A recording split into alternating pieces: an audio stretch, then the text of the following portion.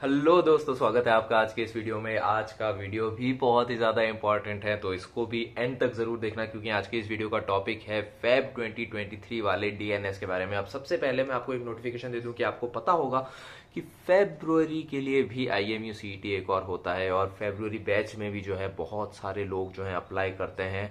DNS के लिए, वो बेसिकली सिर्फ़ डीएनएस के लिए होता है।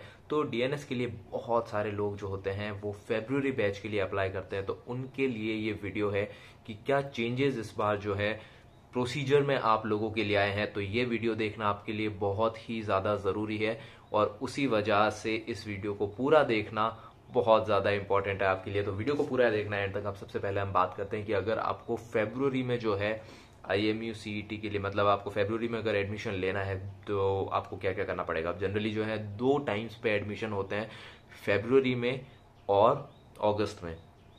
अब फेबररी में मतलब कॉलेजेस शुरू होते हैं और जनरली अगस्त में शुरू होते हैं। अब होता क्या है इन चीज़ों के लिए?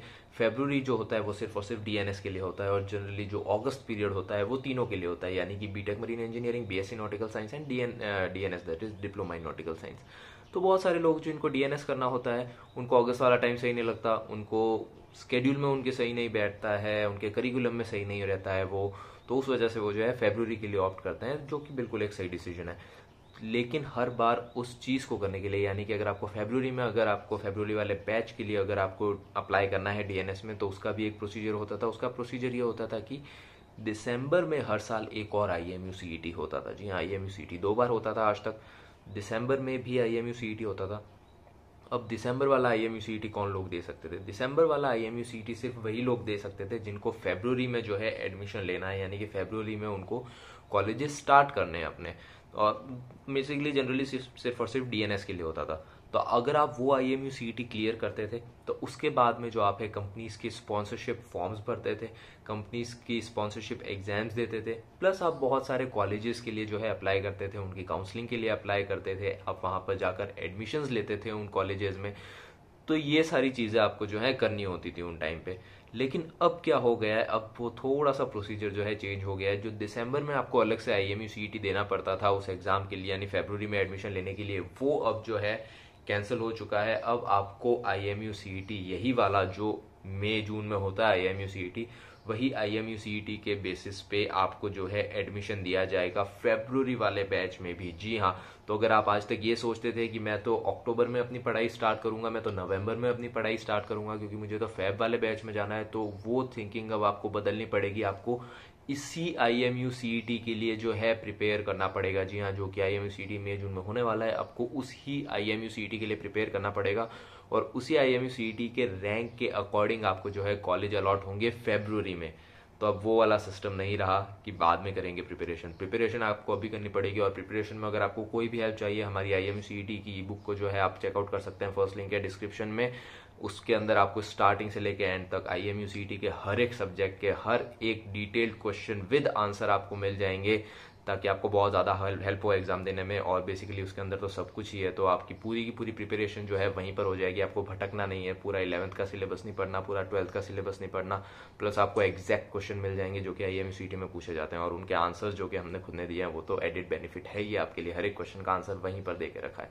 तो वो बहुत ज़्यादा आपको हेल्प करने वाली है। तो अगर आपको आई एम यू की प्रिपरेशन करनी है, आप अगर इंटरेस्टेड हैं डीएनएस बैच के लिए फेब्रुवरी वाले बैच के लिए तो इस वाले आई एम यू की प्रिपरेशन करें आप, जो कि इस बार समर में होने वाला है। उसकी प्रिपरेशन के लिए हेल्प चाहिए तो अगेन फ़र्स्ट लिंक है डिस्क्रिप्शन में ई बुक का।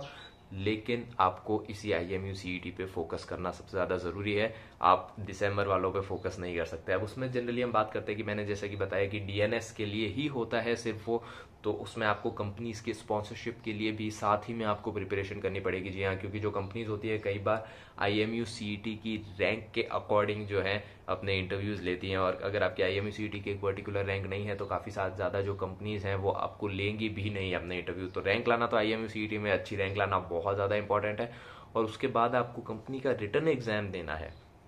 जी हाँ वो भी काफ़ी ज़्यादा ज़रूरी है। जब तक आप एक कंपनी का रिटर्न एग्ज़ाम नहीं देंगे तो आप इंटरव्यू में बैठ नहीं पाएँगे। हर एक कंपनी ने दो अपने सेग्रीगेशन बना रखे हैं। सबसे पहले आप जाके उस कंपनी का फॉर्म भरते हैं। फॉर्म भरने के बाद अगर आप उनके एलिजिबिलिटी क्राइटेरिया में सेट बैठते हैं, जो कि क्या होता है जनरली उनका एलिजिबिलिटी क्राइटेरिया आपके ट्वेल्थ के स्कोर आपके फिजिक्स के मैक्स मार्क्स अपने केमिस्ट्री के मार्क्स मैथ्स के मार्क्स और इंग्लिश के मार्क्स ये तीनों चार सब्जेक्ट्स के मार्क्स जो हैं इंपॉर्टेंट होते हैं।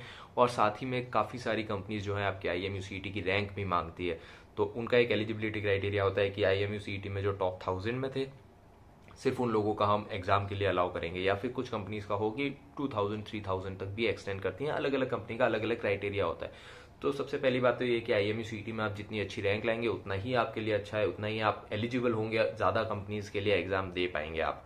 तो सबसे पहला पूरा पूरा फोकस कर दो, मुझे लगता है कि आप लोगों को बहुत ज़्यादा लोगों को जो फेब्रुवरी बैच के लिए प्रिपरेशन कर रहे थे, अभी तक नहीं पता था कि आपको एक्चुअली दिसंबर वाला नहीं, यही आई एम यू देना है इस बार। एक ही आई आई एम यू होगा, क्योंकि बहुत ज़्यादा मैसेजेस इस चीज़ के ऊपर आते थे अभी तक कि सर, हमको तो बाद वाला ज्वाइन ज्वाइन करना है, हमको तो फेब्रुवरी में ज्वाइन करना है, हम तो दिसंबर वाला आई एम यू देंगे, अभी प्रिपरेशन करेंगे ही नहीं। तब मुझे पता चला कि अभी तक आप लोग इस भ्रम में जी रहे हो, इस भ्रम से आपको निकालना पड़ेगा। तो टाइम अभी कम है आपके पास।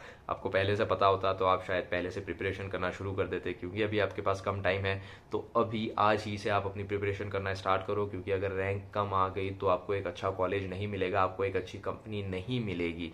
अगर आप, और साथ ही में जैसा कि मैंने बताया, सिर्फ़ और सिर्फ़ डीएनएस के लिए हैं तो इसका मतलब आप स्पॉन्सरशिप की प्रिपरेशन भी करेंगे। स्पॉन्सरशिप की प्रिपरेशन में अगर आपको कोई भी डाउट है, आप ये वाले वीडियो को देखिए। मैं आई सेक्शन में मैंने एक वीडियो लगा कर रखा है, वहाँ पर आई पर जाकर क्लिक कीजिए, आपको वो वीडियो मिलेगा। उस वीडियो को आप अच्छे से देखिए। तो आपको पता चलेगा कि स्पॉन्सरशिप के रिटर्न एग्ज़ाम को कैसे क्लियर करते हैं।